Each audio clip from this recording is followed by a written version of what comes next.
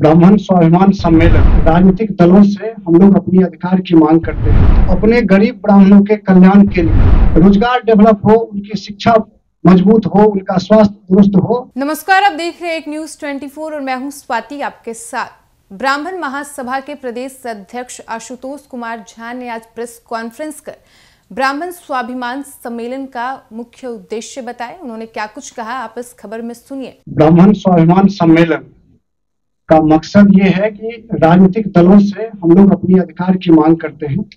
सरकार से हमारी समाज की सुरक्षा और उसकी विकास की मांग करते हैं। लेकिन सबसे महत्वपूर्ण बात यह है कि हम ब्राह्मणों को, अपने गरीब ब्राह्मणों के कल्याण के लिए जो सक्षम, समर्थ ब्राह्मण हैं, उनसे समन्वय बना के उनका रोज़गार डेवलप हो, उनकी शिक्षा मज़बूत हो, उनका स्वास्थ्य दुरुस्त हो, हम लोग असल फोकस उस पर करने जा रहे हैं।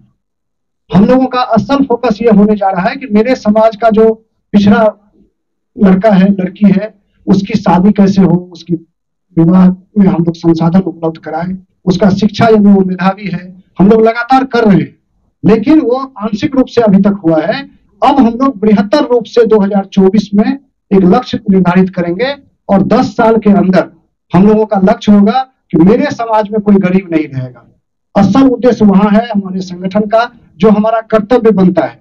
ब्राह्मणों का कर्तव्य है कि हमारे समाज में यदि कोई गरीब है तो उसको उन्नयन करके उसको उठाया जाए। असल उद्देश्य वहाँ है, इसको लोग राजनीतिक रंग भी ले रहे हैं, लेकिन हम जब एकजुट होंगे तो निश्चित रूप से राजनीतिक अधिकार भी हमको मिलेगा। जैसा अन्य राज्यों में मिल रहा है तो बिहार में भी हम लोग अब सभी ब्राह्मणों को एकजुट करने का प्रयास कर रहे हैं।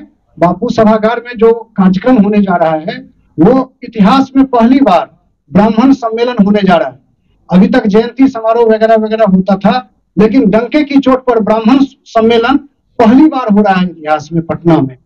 तो निश्चित रूप से ये ऐतिहासिक होगा और हम सबसे आग्रह करेंगे आपके माध्यम से कि जितने भी ब्राह्मण आपके माध्यम से इस आवाज़ को सुन रहे हैं, वह स्वतः स्फूर्त अपने अपने संसाधनों से यहाँ पहुँचे और इसको सफल बनाए।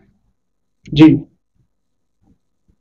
तो आपने सुना ब्राह्मण महासभा के प्रदेश अध्यक्ष आशुतोष कुमार झा को, जिन्होंने ब्राह्मण स्वाभिमान सम्मेलन का उद्देश्य बताते हुए कहा कि हमारी जो उद्देश्य है, उसमें यह है कि हम सभी राजनीतिक दलों से अपनी अधिकार मांगते हैं। साथ ही सरकार से हम ब्राह्मण समाज के लिए विकास एवं सुरक्षा की मांग करते हैं। इसके साथ ही उन्होंने सबसे मुख्य उद्देश्य के बारे में ज़िक्र करते हुए कहा कि हमारा जो सबसे मुख्य उद्देश्य वो है अपने समाज के सभी गरीब ब्राह्मणों को बढ़ावा देना। फ़िलहाल इस वक्त की खबर में इतना ही। वीडियो पसंद आया हो तो वीडियो को लाइक करें, शेयर करें। साथ ही हमारे यूट्यूब चैनल एक न्यूज़ 24 को सब्सक्राइब कर लें। यदि आप हमें फेसबुक पर देख पा रहे हैं तो हमारे फेसबुक पेज को भी फॉलो करें। और ऐसे ही तमाम खबरों के लिए बने रहिए हमारे साथ। धन्यवाद।